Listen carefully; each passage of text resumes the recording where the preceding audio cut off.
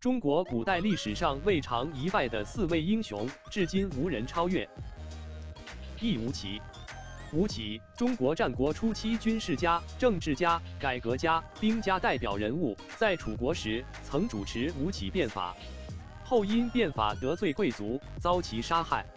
在前三百八十九年，秦惠公出兵五十万攻打魏国的阴晋，吴起亲自率领其中没有立过军功的五万人，外加战车五百辆，骑兵三千，大败秦军。当楚悼王去世，楚国贵族趁机发动兵变攻打吴起，贵族们用箭射伤吴起，吴起的尸身也被处以车裂肢解之刑。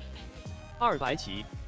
白起，战国名将，是继中国历史上自孙武、吴起之后又一个杰出的军事家、统帅。《千字文》将他与廉颇、李牧、王翦并称为战国四大名将，位列战国四大名将之首。白起担任秦国将领三十多年，攻城七十余座，歼灭近百万敌军，被封为武安君。当然，战神白起也是自刎而死，下场也是比较惨的。三韩信，韩信，西汉开国功臣，中国历史上杰出军事家，与萧何、张良并列魏汉初三杰，与彭越、英布并称魏汉初三大名将，奉为兵仙、战神。王侯将相韩信一人全任，国士无双，功高无二，略不是出是楚汉之时人们对其的评价。后来吕后将其骗入长乐宫中，斩于中室，夷其三族，下场真的太惨了。